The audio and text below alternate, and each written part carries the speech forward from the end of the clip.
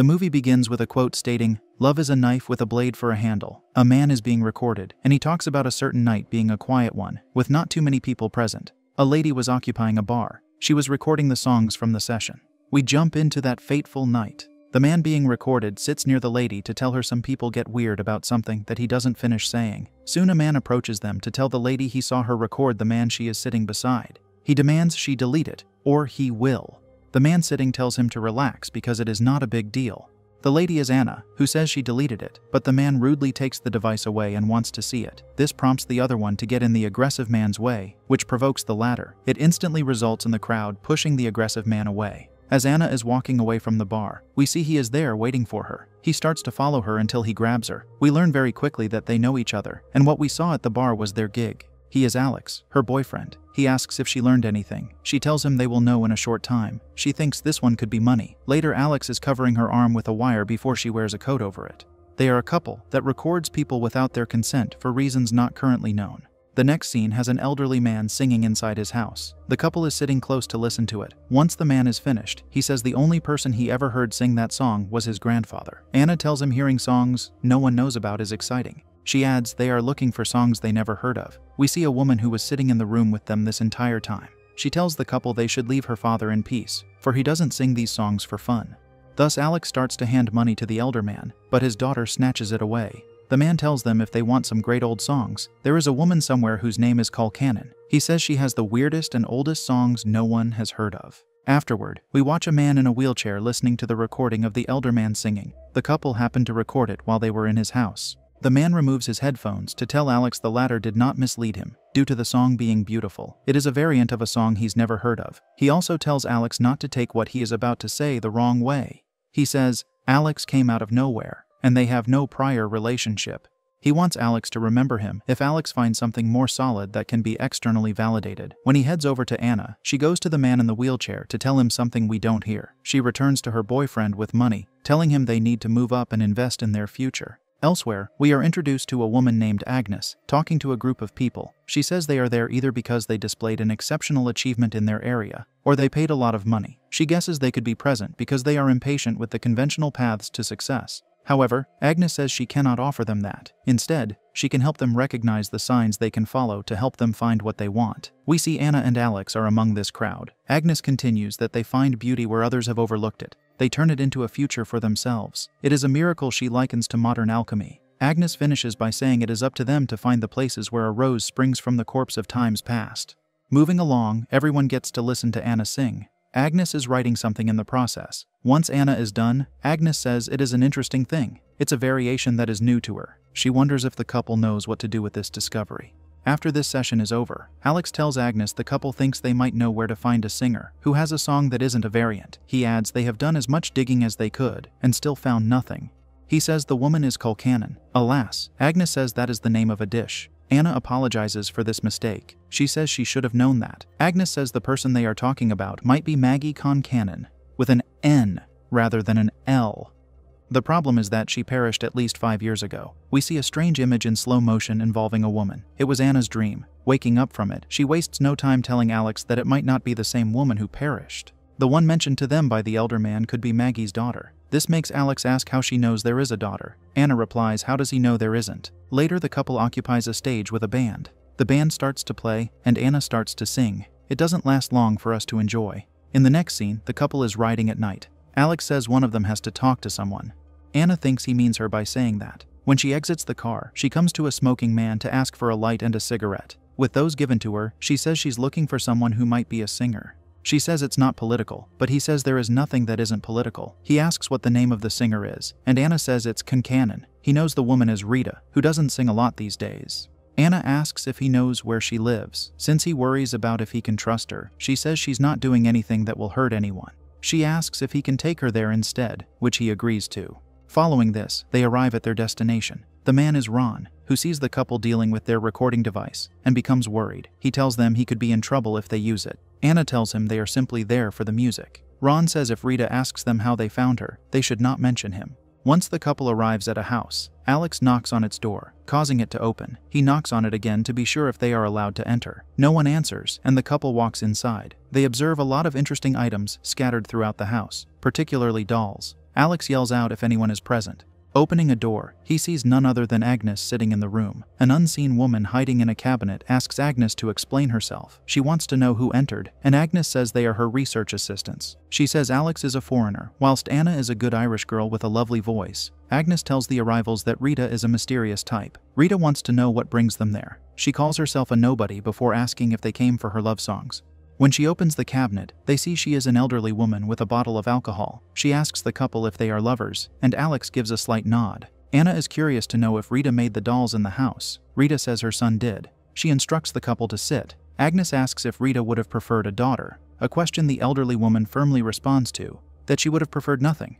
Agnes says there was talk that Rita has some songs, but Rita sounds almost rude by saying she doesn't have any for Agnes. Looking at Anna, Rita says she is a well raised young lady. Anna tells the eccentric woman they came to listen to her. Since she replies she is not for public consumption, Anna takes out the batteries from her recorder and disconnects the wire. She says it's just for them to hear. Rita seems to have an issue with Alex because she says she doesn't want him to hear it. He thanks the woman for a lovely evening prior to leaving the room. Rita says she knows the song Anna wants. Her mother learned it from her mother, who learned it from hers. It is a tradition that stretches back to the old times. The song is not even in Irish, it is in a language that preceded it. Rita says there was a king who loved a poor woman who betrayed him. The punishment he put on her, her lover, and their baby was terrible. The love inside of them became a curse. Rita says it could be called an evil spirit. The song is from a time that predates written history, when memory was the way people had to hold things. Rita proclaims the song should never be written down or anything like that. It is to be remembered and sung by their women. It doesn't matter if they don't understand the song, they must keep the line from breaking. Rita says the song has no name, but if it did, it would be Love is a Knife with a Blade for a Handle. She then starts to make a rasping sound before she starts to sing with soul. The language she sings in is indeed incomprehensible. Due to the amount of herself she pours into her singing, the song almost sounds frightening. Anna leaves after Rita finishes and lets Alex hold her for some reason. Perhaps she was very moved by the authentic song. While they are riding, Alex asks if she remembers any of it. She tries to sing the parts she thinks she remembers. Soon Alex remembers Agnes was walking to her car with a purse held close to her. He gets angry probably because he thinks she was recording the song like they usually do. Thus, they get in front of her car to stop Agnes from driving away. They all exit their vehicles, and Agnes plays Rita's song on a recorder for them. Anna says she promised Rita she would not do this, yet Agnes claims not to have made such a promise. Switching to Rita, drinking at her house, someone unseen comes to her to hold the bottle in her mouth. Agnes tells the couple she guesses they are in this together. The next scene has a puppet show taking place, and the audience is booing it for an unknown reason. We see the man controlling the puppets as he stresses about the disapproval. Following this, the puppeteer arrives at Rita's house. He announces to his mom he is home. Once he goes upstairs to look for her, we see a shadow walking behind him. It doesn't take long for him to find his mother with a broken bottle in her mouth and eye. Strangely, the man does not react commonly from seeing this, like by screaming or being visibly shocked. At a different time, he gets phoned by someone. The person asks about his mom, prompting him to lie that she is preparing tea. He acts by lowering the phone to yell to his mom that the caller is giving her a greeting. Our attention is then brought to Ron, singing alone with a beer. He gets knocked unconscious by an unseen person. When he awakens, he finds himself restrained to a bed and screams in fear. The man who did this to him is Rita's son, Breezeblock. Ron is restrained near a deceased Rita. He tells Breezeblock it wasn't him who did this to her. The captor says his grandmother was something else concerning singing. She used to sleep in this house, which he did not like. He did not know what was real half of the time. Ron says he heard stories about her, and she was a powerful woman. Breezeblock talks about having seen black smudgy things. They started talking to him. His grandmother was lying in bed, laughing. He knew she knew something was going on. The man complains about having tried to sleep with the smudgy things looking at him. At this moment, Ron tries to free himself, only to get Rita to fall on him. His captor slams him for the attempt before he lowers his pants to show a grotesque part of him. Ron tells him about Anna without using her name. She was looking for old songs. He mentions Alex, too. Breezeblock says he will return once he finds them. He leaves and we see shadows drawing close to Ron. Soon he screams in fear. In the next scene, Agnes works on Rita's song with Alex beside her. It is an exhausting task for her to decipher the words of the language. Alex reads a sentence of what she has deciphered. Agnes considers the words to be romantic. Another sentence reads When she saw what she had done to her child, her screaming was great and could not be ended. Alex is about to go to Anna, but Agnes plays the song. It seems to mesmerize him. He says he feels like he has to listen to it, so he returns to sit. Agnes says she played it hundreds of times. She asks if he isn't bored of it. Alex replies the deeper it gets inside of him, the more he wants it. He reaches for her, and she starts to shake. We get the image again that was maybe Anna's dream. It looks like it has people from the distant past. Alex gets a message from Anna, saying she is worried about him. She also says she is scared and she wants him to call her. Alas, he is cheating on her with Agnes. Another message has her cursing him. More bizarre images of the strange people are displayed. We learn Anna has sent Alex a large number of unanswered messages. Breezeblock visits the bar to talk to the man from the start of the film. The former uses the information he got from Ron to ask about Anna. He doesn't use her name due to him not knowing it. The man does not seem to remember Anna. This prompts Breezeblock to ask if he heard of his mom, Rita Concannon. He says Anna visited her and the visit resulted in something bad. The man wants to know what business is that of his. Breezeblock says he can make it his business. Afterward, we see Anna walking on the street alone, seeming lost. Breezeblock rides near her, stopping his van. The next scene has him opening the van with Anna sitting inside. He takes her into a building, where he says he will have to restrain her. Oddly, she lets him do it. She asks if he's going to take her life, and he answers he hopes he won't. Once he restrains her, he gets to the crucial point by asking what happened to his mother. Anna doesn't know. He tells her the last time he saw his mom, she was deceased. She learns Rita is his mother. Thinking about what he told her, Anna says she didn't think she was going to do it. Breezeblock wants to know who she means. Anna reflects on the person she is thinking of as having been waiting there when they arrived. Of course, she is talking about Agnes without using her name. Anna told her that Rita had something Agnes wanted. She says she and Alex just wanted the songs, but Agnes is evil. Breezeblock demands to know who she is talking about since her name still isn't being used. Anna says she could tell him her name in addition to where she met Agnes. However, she doesn't know where the woman lives. Anna wants to help him because she thinks Agnes needs to be punished. She says Alex left her weeks ago. He was working with the horrible woman, as Anna refers to her. She finally tells him her name. Her captor says he will be back and leaves her there restrained. We then see Agnes visiting a doctor. He asks if she is sure she's not pregnant. She could not be more sure is her response. The reason for her sureness is that she had a hysterectomy. She wonders if she has cancer, which the doctor considers very unlikely. The purpose of this visit leaves us curious concerning what is wrong with her. Later, Anna wakes up with Breezeblock returning to her. He got her chips to eat and undoes her restraints. He tells her he did not find Alex along with Agnes. She asks if he wants to hear his mother's song, for she remembers some of it. He does, so she starts to sing it. While she does, we revisit the strange images of the people with painted faces. One of them seems to be eating raw meat. Once Anna finishes singing, he is curious to know what language it is in. She thinks it is older than Irish. She could write down the words if it will help him find Agnes. Following this, Agnes arrives at a building where we hear Alex. Coming to him, she asks if she can get him anything. He doesn't sound like himself when he talks to her. He says he wants chicken and would like a whole one, if possible.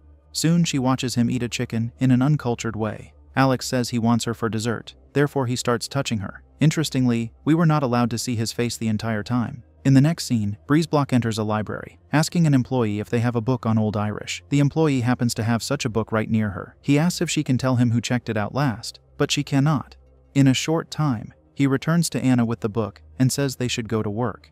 During closed hours, he breaks into the library to search in the cabinets. He finds a file that he looks through. In the meantime, Anna is busy using the book he brought to decipher the words of the special song. Later, Breezeblock is with her, reading what she deciphered. He remarks on the meaning that the king must have loved the woman a lot. Anna asks if people do things like what he did to the people they love. He replies, she would be amazed. Anna thinks the king did it to her to prove there is no such thing as love. Hearing this makes Breezeblock read the love is a knife part of the song. Anna says if someone gets locked away with nothing to eat, they will do anything to survive, even consume their. Breezeblock thinks that is simply nature and has nothing to do with love. He also thinks the king was trying to tell the woman her love was made up to punish her. Starving someone to madness proves nothing. He asks if she could sing the song for him again. Anna wants him to find Agnes's address. If he will, she might sing for him. At her meeting, Agnes listens to a man sing while she writes the words she hears. She looks disheveled. Once the group leaves, Agnes has a hard time standing up. She has to hold her stomach in pain as she walks. Soon she comes to Alex, and he says he missed her very much. He talks about their souls being intertwined. Agnes approaches his bed, which is covered in plastic. She moves the plastic to the side and he grabs her hand. He tells her to entertain him. After she does, she goes to another room to cry. Outside the building, Breezeblock arrives with Anna. He tells her Agnes lives there. Thus, they enter the building, where it doesn't take long for them to find Agnes resting on a chair. Anna runs to attack her, but Breezeblock takes her off. Anna tells him Agnes took his mother's life. Agnes opposes this accusation by saying Rita was alive when the former left. What Anna wants to know is where Alex is. Agnes points to the location, telling Anna he isn't well.